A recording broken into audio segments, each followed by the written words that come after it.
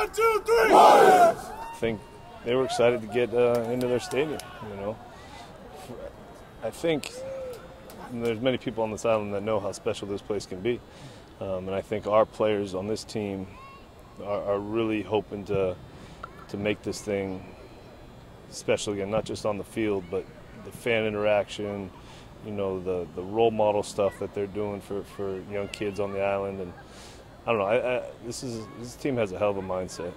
Probably one of the best scrimmages I've been a part of. Two weeks away, where your team is right now, what they just showed you, how do you feel? I feel great. I feel great. I think they should feel great. They've had a hell of a training camp.